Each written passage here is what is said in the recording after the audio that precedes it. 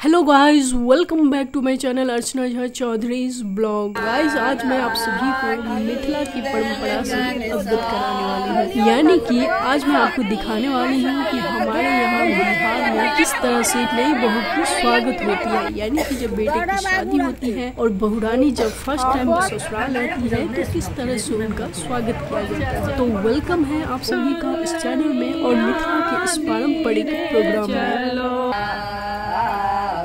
sir.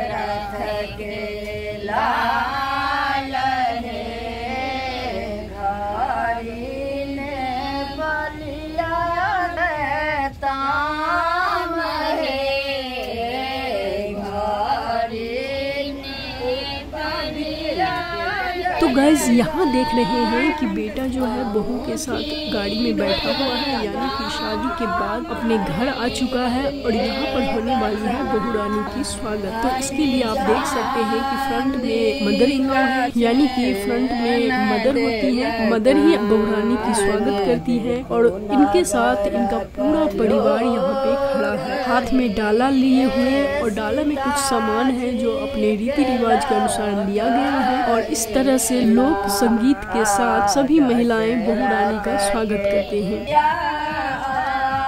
और यहाँ आप देख रहे हैं कि स्वागत से पहले, घर ले जाने से पहले इनकी नज़र उतारी जाती है। गोबर के लड्डू बनाया हुआ है और कच्चे चावल के आटा से लड्डू बनाया हुआ है। तो इन दोनों चीज़ों से इनकी नज़र उतारी जा रही है।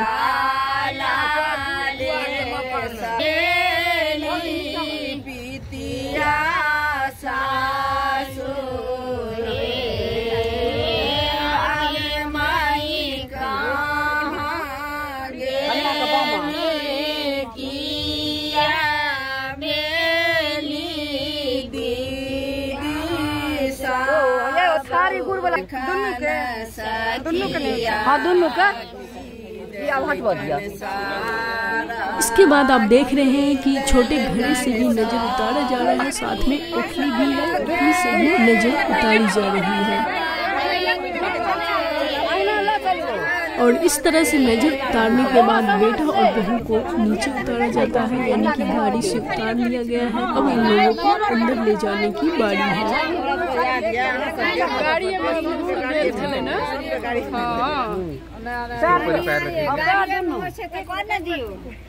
गैस यहाँ आप देख रहे हैं कि बाँस से बना हुआ दो डाला है। इसी में बहुरानी को पैर दिया जाएगा। यानी कि बहुरानी को ज़मीन पे पैर नहीं रखना है उनको इस डाला में पैर रखना है और इसी तरह से ये अपने घर तक जाएँगे। चप्पल दे दो।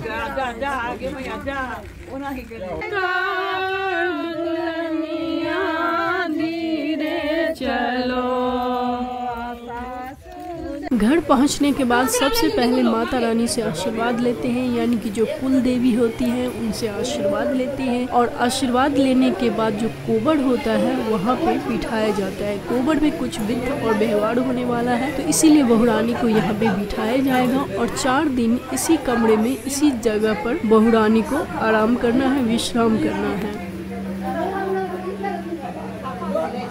तो देख सकते हैं कि ये है गाँव का कोबर। हमारे गाँव में जब नई नई शादी किसी को होती है, बेटी की हो या बहू की हो या बेटे की शादी हो तो इसी तरह से कोबर तैयार किया जाता है और इसमें कुछ चीज़ें जैसे कि आप देख सकते हैं कि केला का पेड़ भी लगाया गया है। इसे शुभ मानते हैं, लक्ष्मी नारायण का प्रतीक मानते हैं और इसी तरह से और भी कई चीज़ें अपने रीति रिवाज के अनुसार रखी हुई है और इस तरह से कोबर तैयार किया गया है।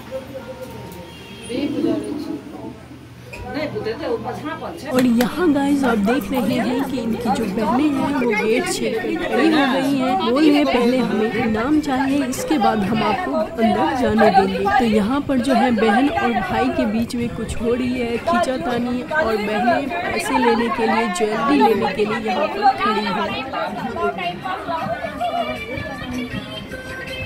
इससे क्या होगा? पकड़ो तो।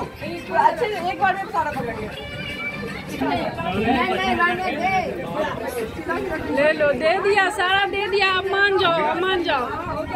तो यहाँ पे देख रहे हैं कि जो भाई है अपने जेब से सारा पैसा निकाल कर अपनी बहनों को दे रहा है और इसके बाद जो है बहनें जो है गेट छोड़ रही हैं और यहाँ पे हो रही है गेट की जो चावल गिराने का जो रस्म होती है वो हो रही है।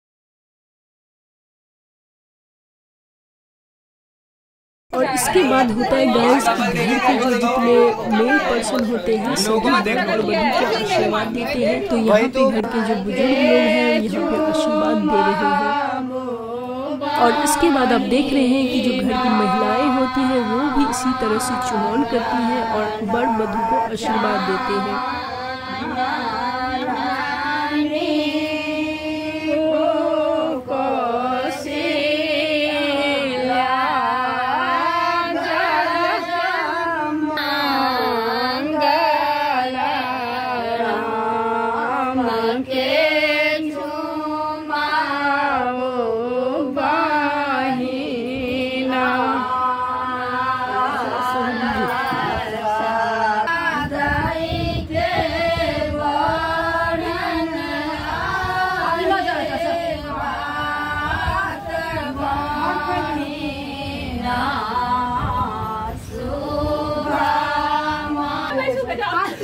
तो है।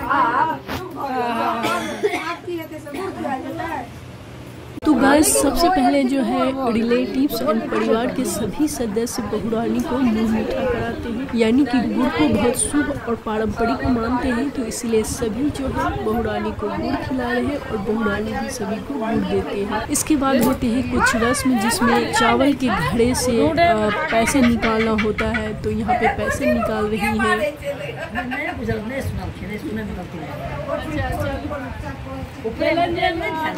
सिक्का देना चाहिए।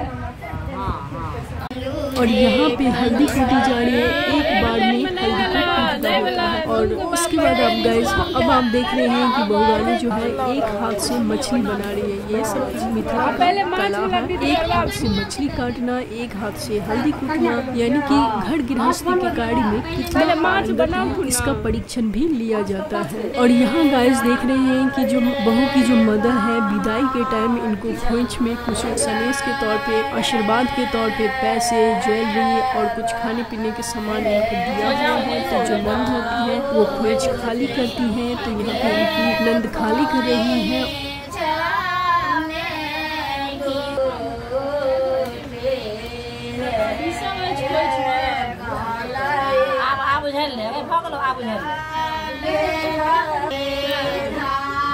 बड्ड नीक